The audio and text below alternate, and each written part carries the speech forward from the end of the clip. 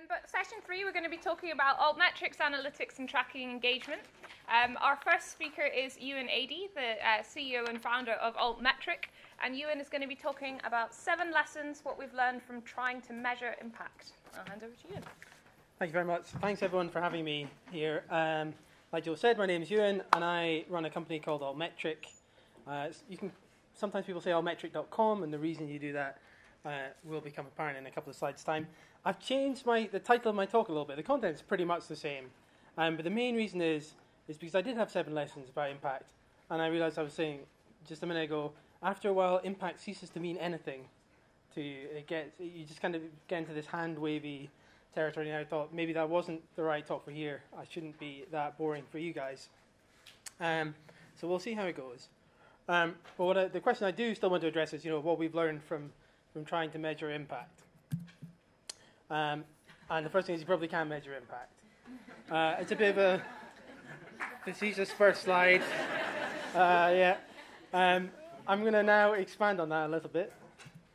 What we've learned from trying to measure impact.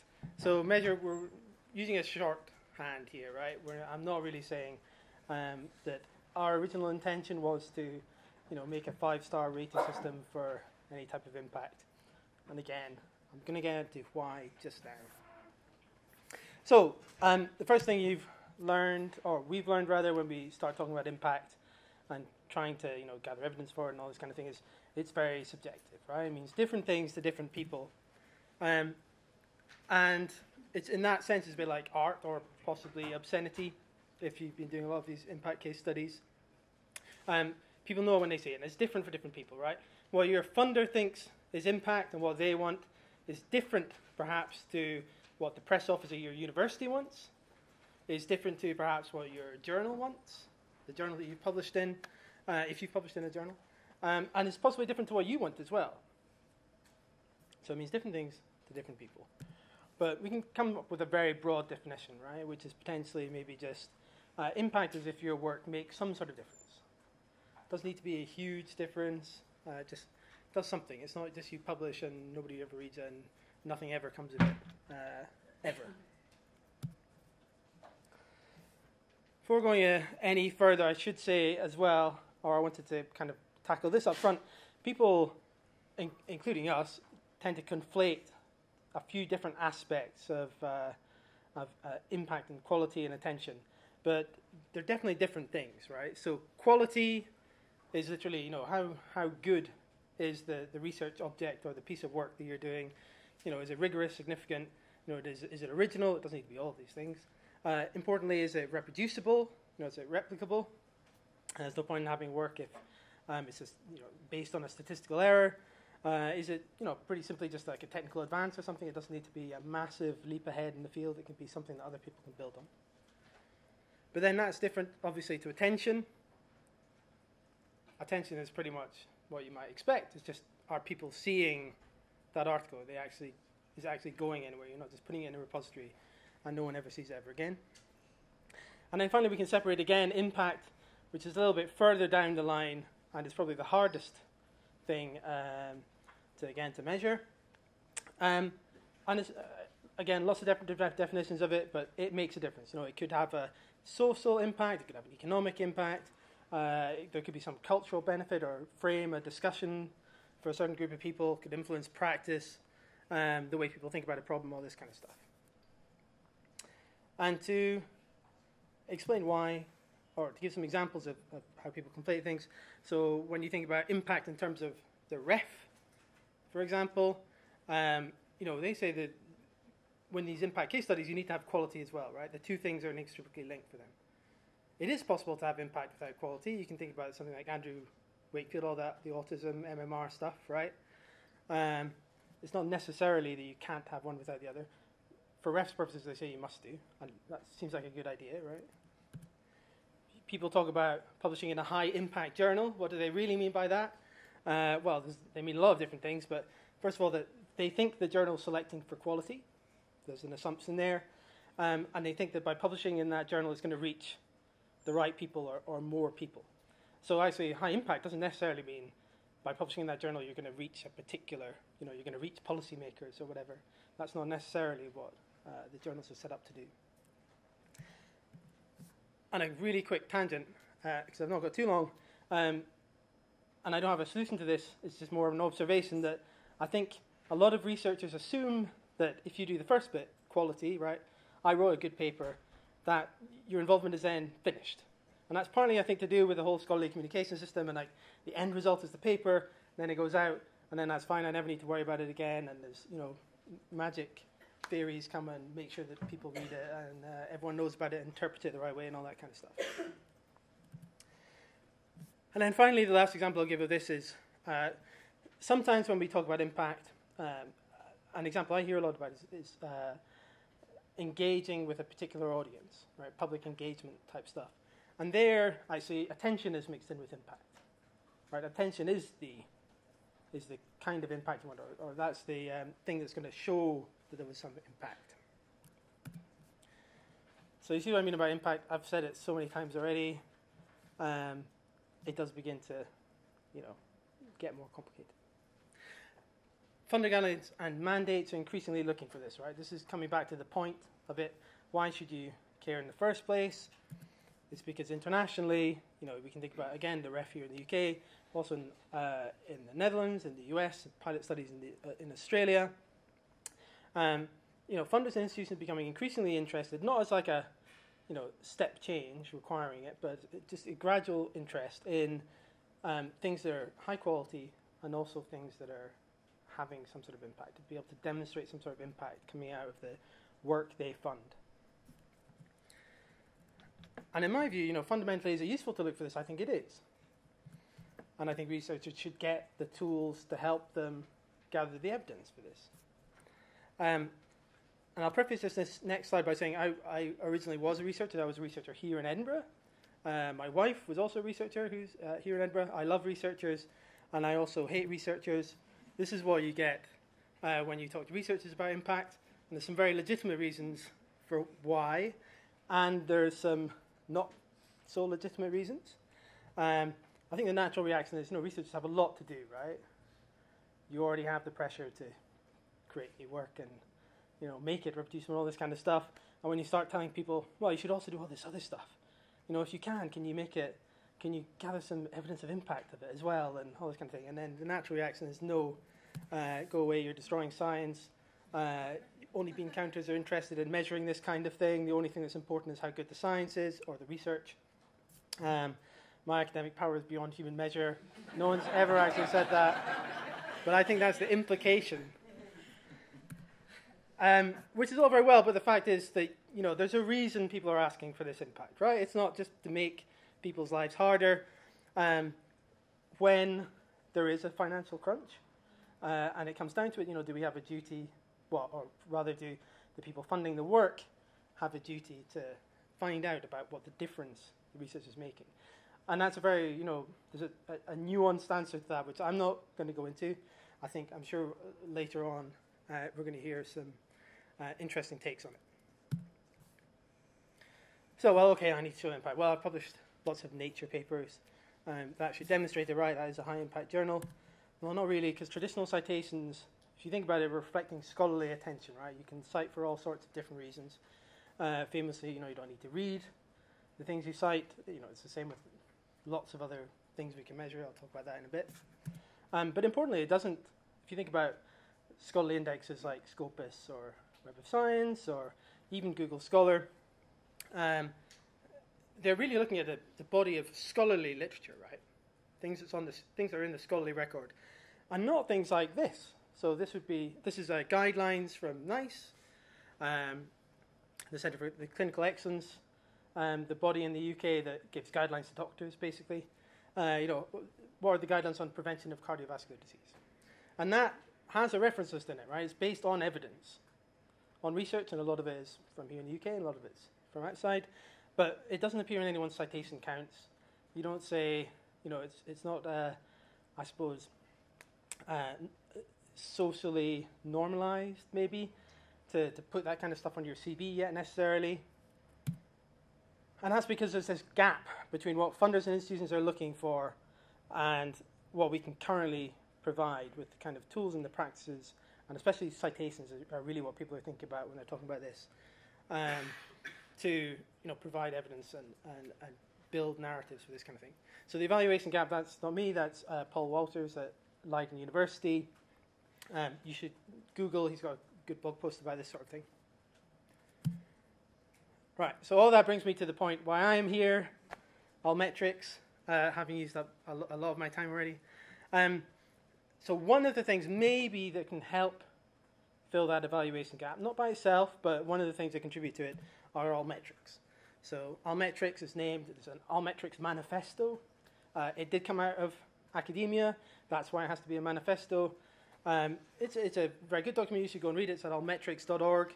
Um, it's written by five people, uh, some researchers and, and some people at publishers, but basically it's talking about now that research is increasingly happening online, you know, certainly we read uh, papers online, or at least we, you know, go to the website and download the PDF online.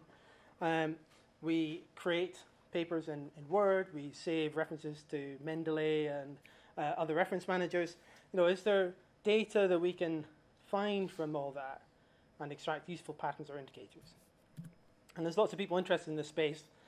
Altmetric.com is one of them. That's why I made the distinction earlier. As opposed to the field of Altmetrics, Altmetric.com is one company. There's others, Impact Story, Plum Analytics, uh, P- Public Library of Science PLOS, uh, which I'm sure you, you all know. Um, also does quite a lot in the, in the space, and uh, Martin's here from, from PLOS. So there are tools that exist that can help you in your institution, your journal, uh, funders gather all this evidence of attention and impact. And again, that doesn't necessarily mean quality, right? Uh, uh, right now I'm focusing on attention and, and impact. And the way it does that is by saying, okay, well, as well as the citations and the academic attention that we can get, let's bring in other stuff. Let's bring in things that we can learn about the broader attention paid to work. And that could be everything from mentions in blogs, in uh, news stories. If you think about, you know, a big uh, research paper covered in the New York Times or the Washington Post or, or whatever, or, smaller papers or, or, magazines as well. Um, comments, so that could be in PubMed comments on PubPeer, uh, Science Open, all this kind of thing. Um, and on social media as well. I put social media last because one of the things I hear a lot about Altmetrics is, well, you know, does counting the tweets about a paper really mean anything? And the answer is no, but it is still worth bringing into the discussion. Sometimes it is useful. If you think about them being more kind of things that could potentially provide you with evidence of attention, there's also things that are more indicators of impact. So if you think about whether or not a paper is cited in that NICE uh, guideline that we saw before, doesn't need to be from NICE, it could be any kind of policy, anything that's used by people on the ground, if you like, to influence practice, uh, to, to, influence the decisions they make. You know, if you think about the World Health Organization, uh, something a bit more high level, like the Inter- Intergovernmental Panel on Climate Change, you know, all of these things are evidence based, they're based on research. And you, as a researcher, should get credit if your work is influencing those policies, right? It's not right that just because they're not on Web Science or whatever, you can't, you know, there's not a, a, an acceptance within the system that you can just take them and provide the evidence for them and uh, get credit for it. I'll skip over this one uh, to go straight to this slide, which I think is very important. It's good to note at this point that we can gather all this information, but by itself you just end up with a big list of you know links to online things, right? It still needs human context. Someone needs to take all the data. They need to take what we were talking about before, the different type of impact. You know, you need to know what you're supposed to be demonstrating, and then match the two. And usually the way that works is, is through narrative, right? That seems to be the accepted way. I don't know if it's the best way necessarily, um, but it tends to be presented qualitatively rather than quantitatively. So that's partly why in my first slide I said you can't measure impact. And that's why Altmetrics is actually a terrible name. Um, it's too late for me now. I've already named the company. I've got the main name and everything. Uh, so I can't change it. But it is bad. First of all, because alt implies alternative. It's actually complementary. And second of all, because metrics implies that it's all going to be a number. It's not really a number. So, assuming an academic can see, no, that, right, you're, you're right, Euan. Uh, this is this is my dream. Where can I obtain such a tool? So again, I'm not going to go through long examples. It's better for you actually just go and check it out. It's free. You can go to altmetric.it. Um, you can get bookmarklet and there's some stuff on the page that explains how to use it. Um, basically, what we do, and it's similar to a lot of the other tools, is we have this details page, a report for each article that we work with. Um, I can talk about it in the break if you're interested. Quite a lot of publishers have it already on a journal. There's a little badge there. There's an AM score and it's got a number. And you click on it and you get brought to the, the details page for that article. So in this case, for example, there's a paper about measurement of boundary layer ozone concentrations on board a Skywalker UAV, which sounds quite cool. Uh, it's just like a little remote uh, UAV, a little drone. And from the details page, we can see that it's been picked up a couple of months after publication by, um, by a UK government report talking about whether or not you could use drones to measure methane above big fields of cows. And this is the kind of use that I like to see of Altmetric. So this is a tweet from the author. Um, they've noticed from the Altmetric details report that they have been picked up in this document, right? They didn't know about it before. You don't get an email saying you've been cited in UK government policy. That doesn't happen. You know, maybe if you're involved in actually setting the policy, you know about it, but otherwise you don't necessarily. And this is what we're trying to do, right? Bring the information to the researchers so they have this evidence available. Um, there's indicators of different places they should go and you know, find out more about the story. It's up to Samuel Illingworth in this case to go and read the document, see how much it, you know, did it really make a difference. Um, if they were writing a case study, you know, they'd need to talk to, to see whether or not that policy actually got put into practice, if it just went into a filing cabinet and never got read ever again. But the point is that now he knows about it. He didn't before. So I'm going to wrap up there. Um, what I will say is that Altmetrics is quite a new field. It's not that it's been going along, going around for you know 20 years. People have been doing this kind of thing for a long time. The name is pretty new, but people have been doing this kind of analysis for a while. Um, and there's lots of different opportunities for people to get involved if you're interested in it. So in the US, there's a NISO standards groups running at the moment in a couple of different areas. Um, we're running a conference along with, with PLOS and Elsevier and Springer and uh, the Wellcome Trust, a bunch of other people um, in Amsterdam in October called 2 a.m. We had one last year called 1 a.m. And uh, finally, if you don't do anything else from this talk, what I would encourage you to do is, uh, and if you've got kids, you'll know why this is difficult to Google for, but if you Google for DORA, um, or San Francisco DORA maybe, um, and read the declaration, of the San Francisco Declaration on Research Assessment. There's a lot of good stuff in there, uh, and a lot of kind of community around it, if you like. Thanks very much.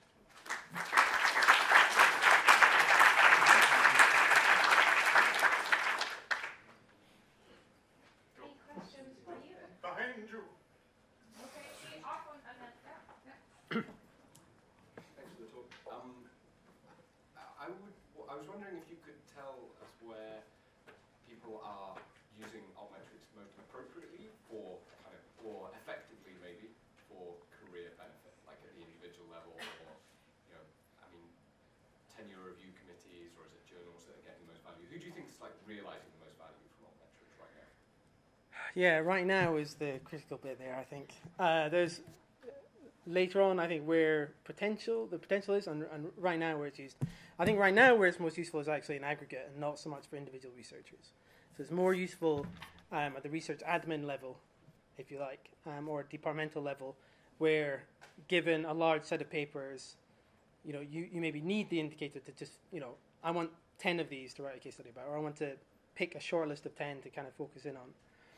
Um, that said, researchers can use it. They do. We've got there's a series of blog posts actually on the Altmetric blog uh, where we've interviewed different researchers doing it, and they encounter different, you know, varying degrees of resistance or acceptance. I think some of them are pleasantly surprised and they go, "Oh, yeah, it's definitely that's you know that's why I got my position," and some of them go, "Well, I put it on there. I don't think anyone actually cared, but you know, I did it anyway."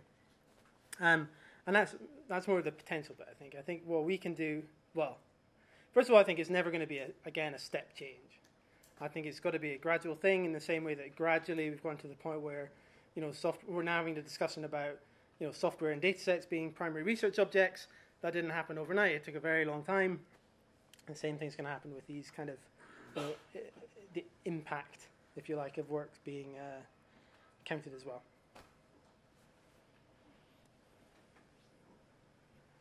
I was um, really intrigued by the example you gave of um, a report that you picked up, and I see you're also tracking Wikipedia. How is how would I, as a database provider, become a source for you? Because I can see from my point of view that being able to tell researchers that this database has made use of their research would be great as, Yeah. as a tool to engage those people. But that would require you monitoring my database. Is there a mechanism for doing that? Yeah, there's not a formal process. I mean, to be honest, it's very ad hoc.